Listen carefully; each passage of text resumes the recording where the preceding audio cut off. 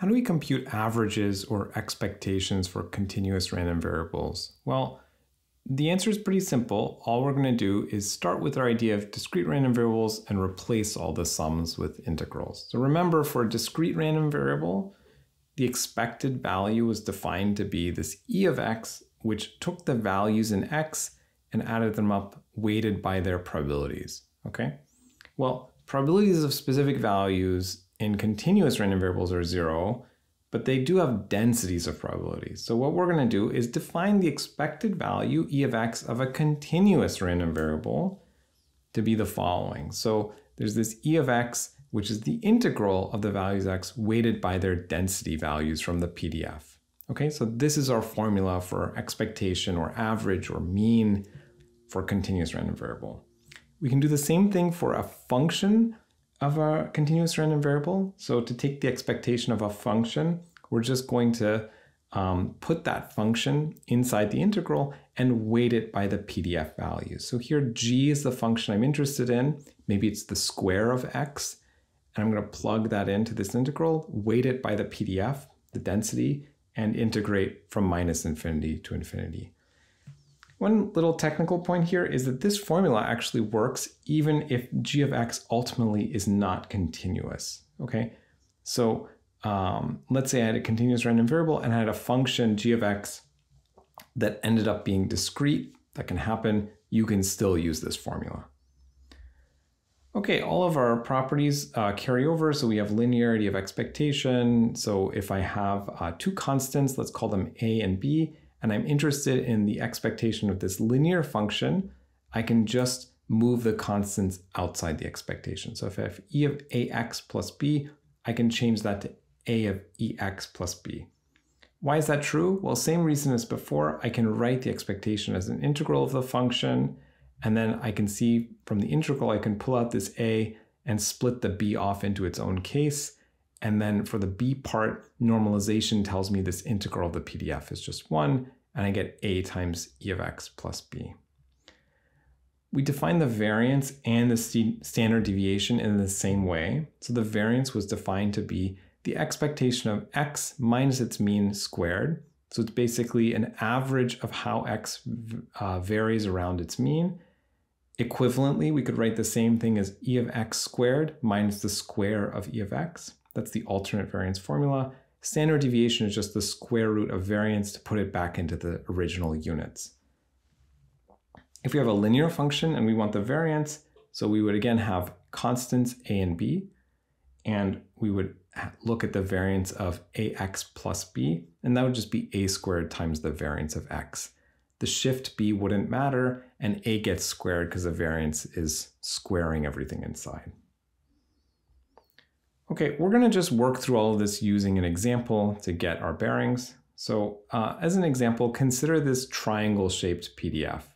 Okay, so it goes up and then it goes down, and you can trust that this has area 1. So this has the following formula. It's 0, then it's x, then it's 2 minus x uh, from 1 downward, and then it's 0. So basically it has slope 1 until it reaches 1, and then it has slope negative 1 until it reaches 2.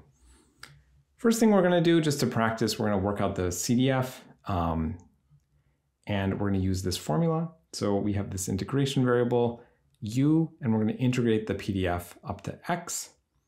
And we're going to do this case by case because it's a little tricky. Okay, so first, um, we're going to start out um, in the first case we have in the case by case formula, x is less than zero. So the CDF there is just going to be the integral of zero and that's just going to be zero. Next, we go from zero to one. So as we're doing that, we're plugging in the value uh, that's between zero and one. So first it's going to integrate from minus infinity to zero. And what it's going to see is just zero. Then I'm integrating from zero to x because I have a value between zero and one. And that is going to be u du because the formula says that f of x is x. And when I replace that with u, it just becomes u. Okay this is just going to become 0 plus 1 half u squared from 0 to x. So it's 1 half x squared. Next, from 1 to 2, I'm going to work out the CDF. So I'm going to have an integral from minus infinity to 0 of 0. Then from 0 to 1, of u. So it's the same thing we were doing before, but now I cross over the whole range and then from 1 to x because x finishes between 1 and 2. I'm going to plug in 2 minus u because I'm using u to stand in for the original x. It's going to work out here to be 0 plus 1 half u squared from 0 to 1, and then plus 2u minus 1 half u squared from 1 to x. And if I work all this out, I'm going to get 0 plus a half plus 2x minus 1 half x squared minus 2 plus 1 half. So it's minus 1 half x squared plus 2x minus 1. And finally, when I get greater than uh, 2, I know this has to be 1 because I've already integrated um, the entire PDF, right? So now the PDF is going to be 0, so there's no more probability to absorb, and I know probability can't be greater than 1, so I've hit 1 at the end. Okay, that is the full CDF. So let's summarize all of that. So here is a plot of the CDF that we just worked out, this um, curve. And case by case, what we worked out was that it was zero for a while, and then it was one half x squared, then minus one half x squared plus 2x minus one, and then one. Okay, and the range was the same kind of cases as before. Now we can work out the probability of an interval. So what's the probability I fall between uh, 3 fourths and 5 fourths? So one way I could have done this was by um, integrating the PDF between 3 fourths and 5 fourths. But since I have the CDF, I've basically done every possible integral, and I'm going to use that since it's uh, more direct. Okay, so the probability of an interval is just the difference in CDF values. So the difference between CDF at 5 fourths and CDF at 3 fourths. That's going to work out to be at 5 fourths, I'm plugging into this minus x squared plus 2x uh, minus 1 formula. And at uh, 3 fourths, just the 1 half x squared formula. So this works out to be minus 25 30 seconds plus 5 halves minus 1 minus 9 30 seconds. So it's 3 half minus 34 30 seconds. It's 14 30 seconds. That's 7 sixteenths. Okay, that's the value. Had I integrated the PDF directly from 3 fourths to 5 fourths, I would have gotten the same thing. Let's look at the expectation. So what is the um, average or expected value of x? Okay, intuitively, let's look at the plot and figure out what this should be. Remember, the, um, the expected value should be the center of mass. And this is a plot that is symmetric and centered at 1. So the center of mass should be at 1. And so I expect to get the answer 1. And we'll see if that works out. So the formula is to take the values of x, weight them by the probability density, and integrate from minus infinity to infinity. Because I have a case-by-case -case formula, I need to break this into four parts. So I'm going to have a part up to 0. That's just going to be x times 0. Apart from 0 to 1, that's going to be x times x, because the PDF from 0 to 1 is x. I'm going to have a part from 1 to 2. That's x times 2 minus x, because the PDF there is 2 minus x. And then again, I'm going back down to 0. Okay, so two of these integrals are easy, and then the other one is 1 third x cubed from 0 to 1, and x squared minus 1 third x cubed from 1 to 2, and then again 0. Okay, so I can just plug in and work out all these values. So I'm just evaluating all the different um, things that I have here, and I'm going to ultimately get something that you can verify for yourself is just going to be 1. So that checks out with my intuition. What about x squared? So I don't have an intuition for what x squared should be. Obviously, it should be greater than 0, but that's about all I have. So I'm going to plug into the formula for expected value of function. I put x squared times the PDF and I integrate. Again, I'm going to have a case um, where it's the PDF is zero. I'm going to have a case where the PDF is x, and I'm going to have a case where the PDF is uh, 2 minus x, and I've picked the integration regions to match, and finally I go back down to 0.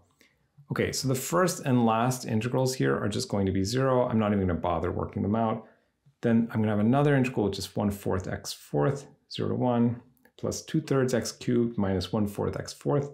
And if I start plugging in values and working all this out, I'm going to settle into something that you can verify for yourself is going to be 7 sixths. Okay, so let's just follow this through.